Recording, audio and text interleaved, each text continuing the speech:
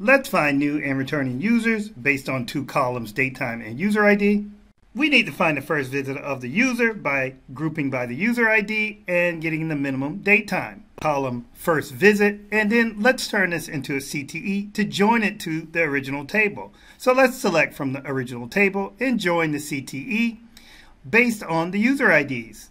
Let's convert the date time to a date so we can look at daily users. So we want to know when, so we're going to use a case function to know when that date time equals the first visit. We can call them our new users, else null, and we can end that and call it our new column as you see here.